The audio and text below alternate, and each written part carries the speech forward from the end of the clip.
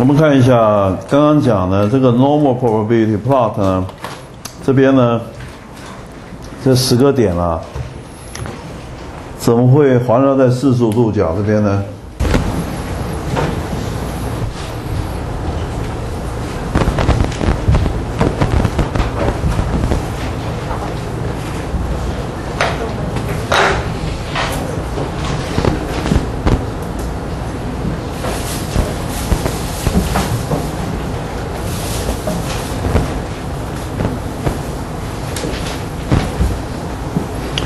？standardized residual 的值啊，如果出现在这边的话，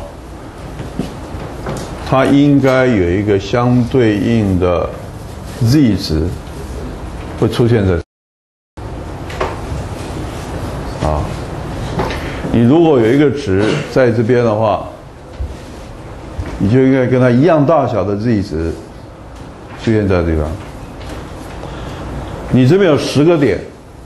他就帮你找十个 z 值，让你有机会可以跟它产生一一相呼应、一一相对应的这样的十个状况出来。这四个状况，每一个状况事实上都是什么？呃，z 坐标、一坐标、水平坐标、垂直坐标组合成一个点。假设一个点坐在这个地方，代表什么？代表它落在四十五度角右手边。代表这这个点，假设这个点是第十个点的话，这个点的 z 值啊是超过水平坐标是超过你的 y 坐标的值的。在这种状况，你十个点如果正好都在这个线上的话，代表你每一个 z 值跟每一个这个残余项的标准化以后的值都是相等的，正好产生十种对应状态。那么你看这个，在我们这个图形里头呢，它是这样的，它是它是这样的，它像这样的，有一个像这样的一个微微的一个转转折哈，不是那么样的纯然的都是直线的四十五度角线，可是这样也相当靠近了，相当接近了，啊，最小的值，最小的值是多少？大家看一下。六百五十页最底下十四之十十的那个图，那个那个表，normal scores 是 z 值哦，最小的是负一点五五，然后第二小是负一，第三小是负零点六五，第四小的是负零点三七等等，一直到呢最大的是一点五五。那么它之所以取十个点，是因为为了要对应你现在的 standardized residual，你只有十个点。所以我就找十个点跟你相对应，你你有多少个点，我就找同样的点数去跟你相呼应，去测验你看看是不是跟我的 z 的分布是相对的。结果你看它这边十个点，我就找十个点，你看看它 standardized residual 最小的点是负一点七一一啊，对不对？第二小是负一点零七九啊，那一直到呢最大的值是一点四。既然你有十个点，我就找十个点，啊，然后这十个点呢，最小的比最小的，第一小对第一小，第二小对第二小，第三小对第三小，你懂的意思吗？啊，然后呢，就产生出十种对应的状况，每一种对应的点呢，啊，好比说第一个点，第一个点的水平坐标是多少？第一个点会在这边，对不对？第一个点水平坐标是多少？负。一点五五，所以负一点五五，然后 y 坐标是多少？负一点七一四，所以第一个点是在在这个地方。那当然零零在哪里？整个这个题目零零在这个地方，这边是零，这边是零，这是负的，在这边。第二小对第二小就得到那第二个点，这是第三个点，第四个点，以此类推，发觉这十个点呢跟四十五度角的线相差不远，所以基本上都是什么呈现一对一的状态之下，因此呢我们就相当有把握，把握什么事？把握你这个标准化以后的残余项的值，基本上的分布啊，跟你的标准常态分布的值是亦步亦趋。亦步亦趋，啊，他说我前进，你就前进；我前进多少，你跟我前进多少；我后退多少，你跟我后退多少。所以代表什么？如影随形啊！既然进入到如影随形的时候，那是代表什么？你是什么形状，我就什么形状；你是常态分布，我就常态分布；你是标准常态分布，我也是标准常态分布。至少我跟你差不远，你懂这意思吗？所以 normal probability plot 是提供我们一个不是非常严谨的，不是百分之百正确，可是至少它提供有理论基础的一种比较方式，让你能够放心。说了，你看在形状上头来讲，它们已经如影随形了，看到没有？在形状上头来讲，在分布的形状上头来讲，它们是亦步亦趋的。谁跟谁亦步亦趋啊？残余项标准化以后的残余项跟标准常态分布的值。这两组东西亦步亦趋，所以说我们相当有把握了。什么是残余项标准化以后的残余项跟标准常态分布的分布的形状几乎是一样的？如果你的点不是这样子的，你的点如果是假设你点是这样子，这样好吗？如果点是这个样子的话，代表什么？代表 z 的值啊，普遍比 y 的值还来的大。z 的值普遍比残余项的值还在那大，所以就不好了，你就不能有有那个正当性说了，你的这个残余项的的标准化以后的残余项的值啊，具备有标准常态分布的形状，这个就比较勉强，就说不太过去。所以你要。你希望它能够沿着四十五度角上头去呈现出它那种对应状况，你才有把握。那刚刚同学有在问说，你这个标准常态分布的十个点是怎么取的？同学，你看一下十四至九那个表啊，所谓的 order statistics，次序统计量。次序统计量呢，就是我把一个我把一个分布。我在这个分布上头去取若干点出来，然后依序去把它排列出来。我每一次呢都做同样的事。同学，你看我的 z 在这个地方，z 的期望值是零，标准差是一。我每一次从标准常态分布上头取十个点，第一次、第二次都是电脑随机取样哦，第三次。第四次、第五次、第六次，我 repeat，我 replicate 这样的一个行这样的行为，我进行若干次，然后我统计最小的，也就是第一小的最小的那个值，有些在这边，有些在这边，有些在这边，但是我若干次以后把它平均，取它的平均值，我跟你讲，那个平均值是多少？负一点五五，我每一次把第二小的把它找出来，所有第二小去取平均值，我跟你讲，第二小的平均值是多少？负一点零。我进行若干次以后，我可以告诉你，我重复若干次以后，平均第十小，第十小的话是什么意思？就是十个点当中最大的那个点，那个点是多少？平均来讲的点是多少？一点五五，它说正好啊，是相对应的，正负正负相对应，因为你取十个点嘛，平均来讲的话，它会形成这样对应状况。所以呢，这个是这个是电脑上头它回答你了哈，就是你找一个软体，或者是你写个程式，从这个软体上头，或者从这个标准常态分布里取十个点，你会得到这样的结果出来。所以这十个点事实上就是代表啊标准常态分布的十个点，它是代表作。十个常态分布、标准常态分布的一个十个代表作。既然你是代表作，我就拿你来跟来当做一个检验标准来检验，说我现在有一组标准化以后的残余项，它到底是不是跟你一样具备同等的标准常态分布的分布？两个去比比看，比出来一对一都是四十五度角，离它不远的地方，我就很有把握的，形状上都亦步亦趋的，就有把握。十四至九呢？这个残余项分析啊，首先呢，我们要谈另外一个概念，你会帮我找出 outlier 出来。我们有这些点，通过这些点找一条回归估测线。现在有一个点在这边，这个点啊，在哪些东西跟大家不一样，你知道吗？大家的 x 坐标啊，大概也是在这个范围之内，所以 x 坐标上都没问题。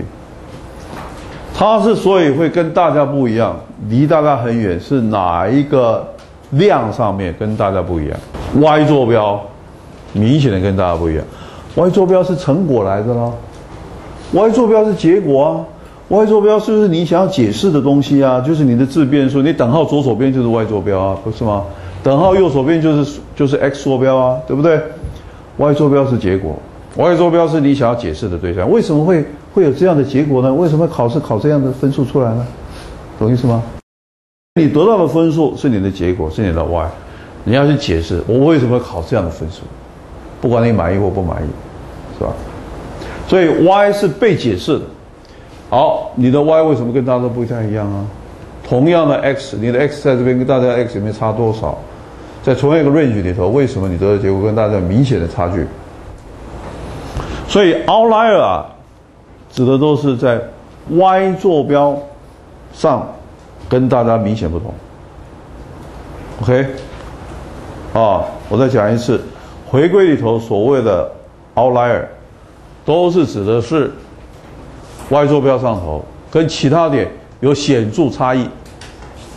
不管是显著的比它小，或显著比它还大，你看这个就是显著比人家还大嘛，是吧？显著比人家还小，都构成了 outlier。outlier Minitab 也可以帮你跑，帮你确认。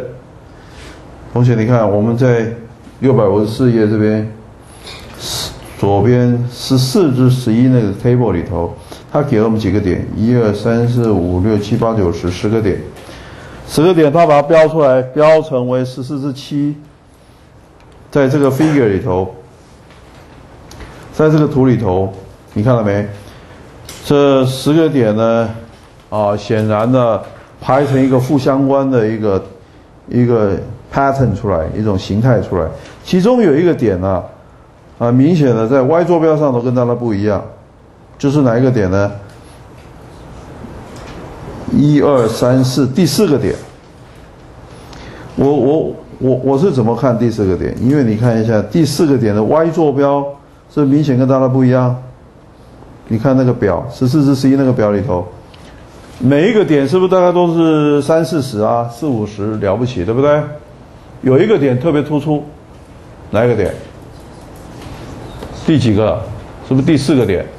七十五跟大家明显跟大家不一样，那你把它标出来，确实，你看它，它傲然独立在最上面那个地方啊。那 Minitab 呢？它你把这十个点坐标告诉 Minitab，Minitab 会帮你跑，就跑出的十四至十八的那个报表出来。这个报表啊，它你看它告诉你回归估测线斜率是负的，负七点三三。啊，你可以做 T 检定、F 检定都可以。R square 也告诉你了，R square 很差，只有四十九点七啊。那这个不管，ANOVA 也告诉你了啊。最底下有一个 unusual observation，就是不寻常的点。不寻常的点是哪一个点呢？是第四个 observation four 啊。这个点的坐标是三七十五，显然跟大家不不一样。它的标准化以后残余项高达二点六七，超过二。超过二的话呢？你看，我们说啊，你的常态分布，同学记得我们常态分布两倍的标准差之内应该是百分之多少？两倍标准差，大家看，两倍标准差范围之内应该占百分之九十五点多。一倍标准差是多少？一倍是六十八，百分之六十八。三倍呢？三个标准差范围是多少？九十九点七，对不对？啊，这基本概念大家应该懂的。那你想想看，我如果在标准常态分布里头，两倍标准差就是正负二之内嘛。三倍标准差就是正负三之间嘛。所以你看，如果你通通保证大家都在百分之呃，大家都在正负二之内的话，意思就是说你是百分之九十五的把握，正负二之内不是百分之九十五吗？是吧？百分之九十五为标准为信赖程度的话，点通通落在正负二之内。可是有没有可能会落在正负二以外呢？有，多大的可能性会落在正负二以外？百分之五，零点零五的可能性，多大的可能性落在正负三以外？百分之一都不到，对不对？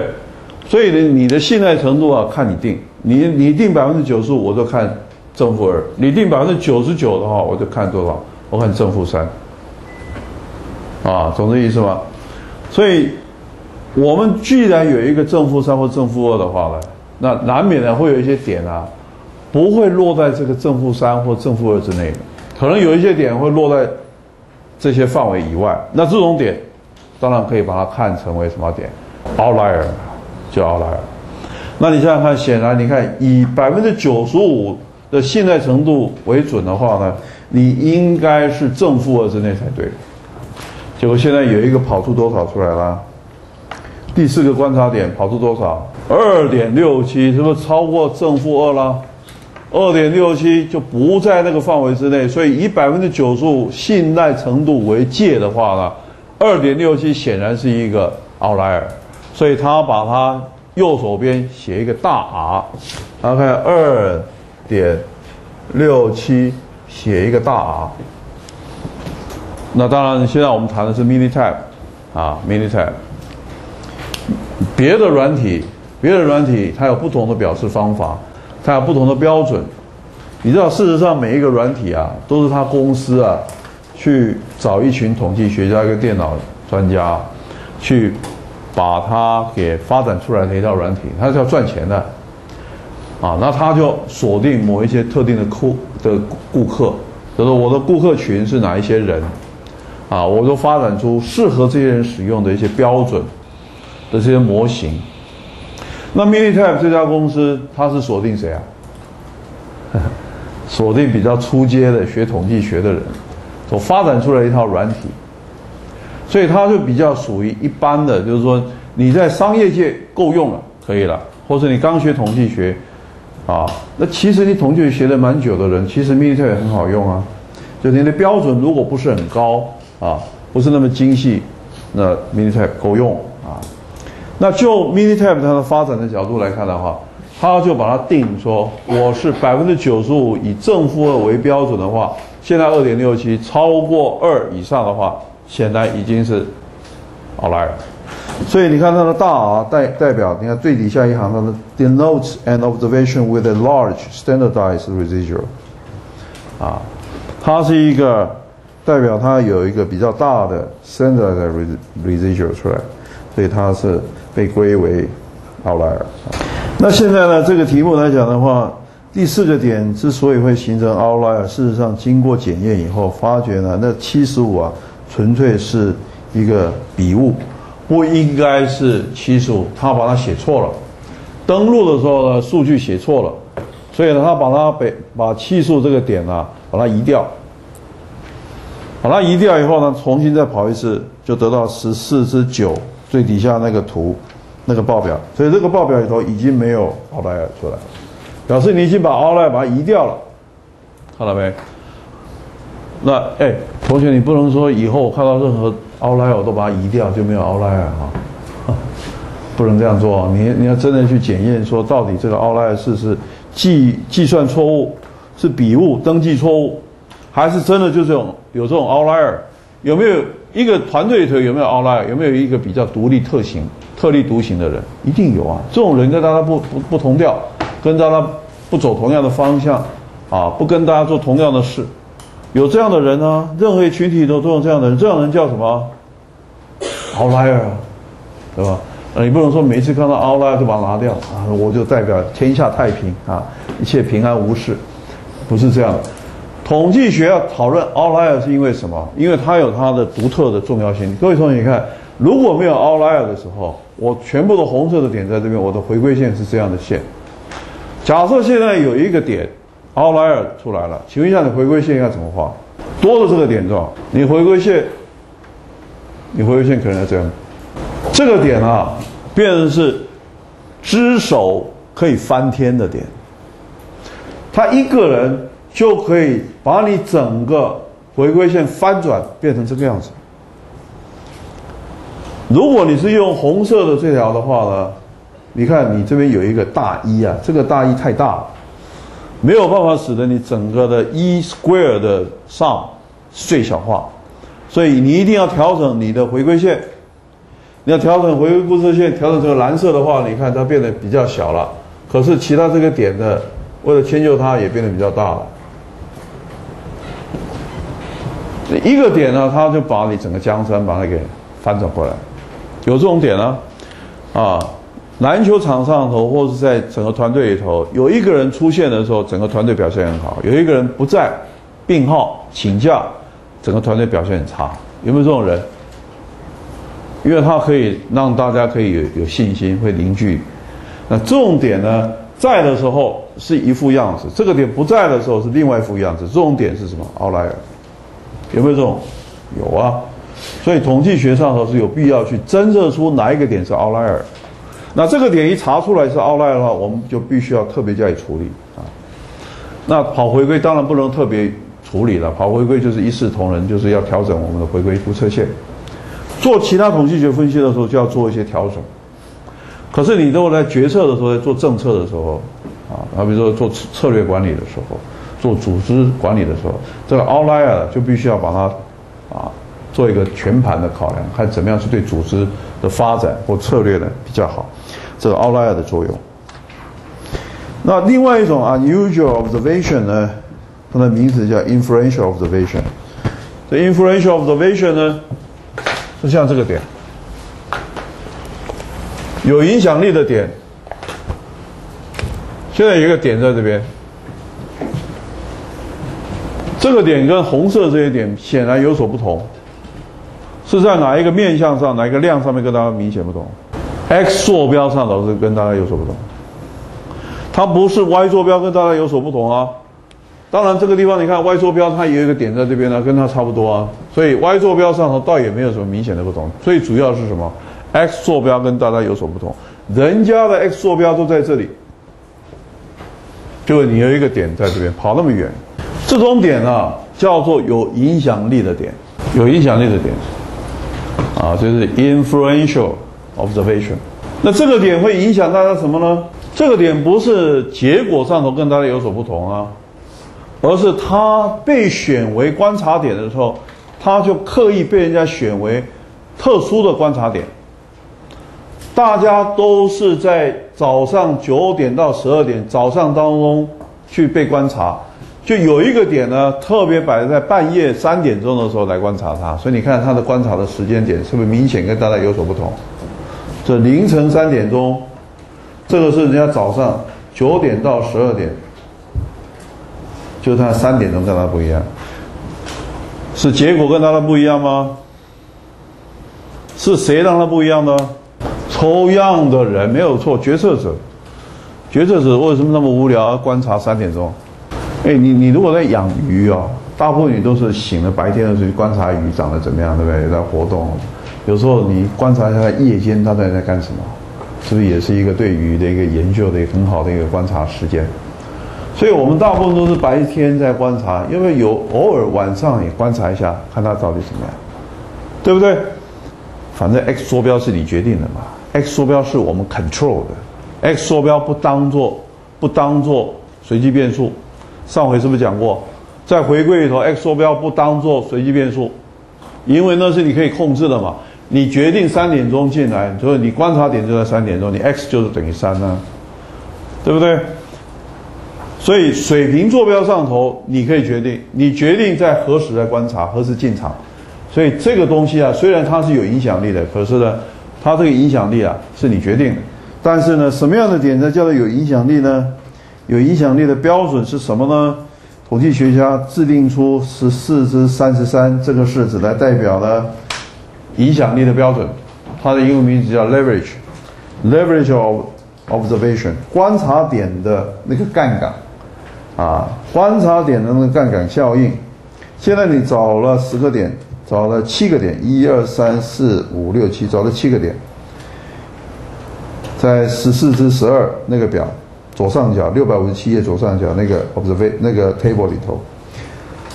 那么这十这七个点呢，每一个点都可以算出十四至三十三的那个 hi 出来，也就是那个 leverage。leverage 是什么？你们学财务的人 leverage 叫什么？所以这个十四至三十三啊，就是一个 leverage，leverage 就是财务杠杆的概念。财务杠杆就是跟人家借钱，你可以借到多少钱？你借的钱你总要还的，可是你借的钱呢，你可以把它当杠杆来去去做使用，可以去投资，可以去买什么东西，可以去在市场上的翻云覆雨，啊，让你去使用，它就是一种杠杆效应。你可以你可以用很少的钱，可以去借很多的钱，你这个杠杆就很大。当然你要有这个条件才可能有那么大的杠杆。那这个杠杆的概念呢，啊，在这个地方呢做这样的界定。十四至三十三，hi 可以算哦。就以左上角那六七个点来看的话，我们可以对第七个点，同学第七个点的计算，它在这边帮你计算出来，七分之一加上右手边得到零点九四，看到啊？然后下一行他就做这样的说明，大家看一下下一行，他说，For the case of simple linear regression，对简单回归来讲而言呢，Minitab 的 identify observation。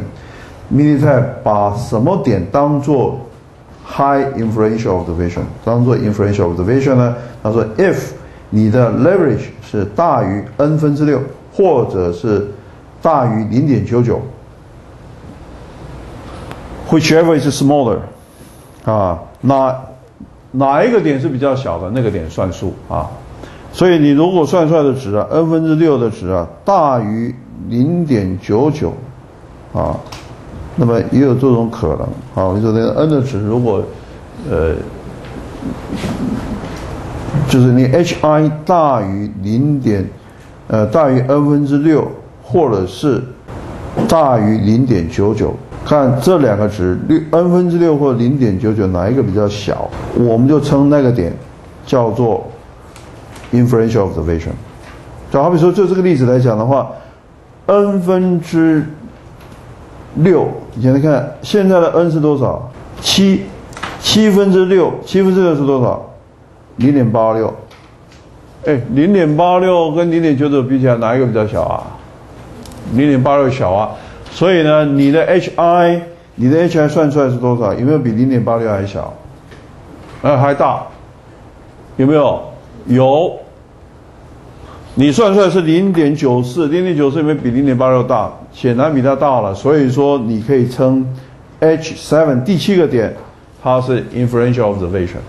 任何一个点都可以用这样来检验，检验它是不是它的有没有是有影响力的点啊？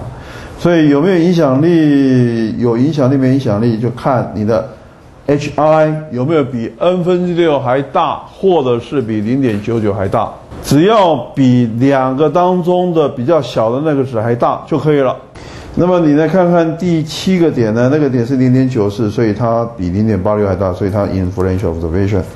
那 inferential observation 来看六百五十八页这个报表十四至二十二这个地方，它的最底下那个第七个观察点是 x 等于七十，y 等于一百。结果我们算出它的 standardized residual 是一点九一，一点九一怎么可以当做是呃 inferential observation 呢？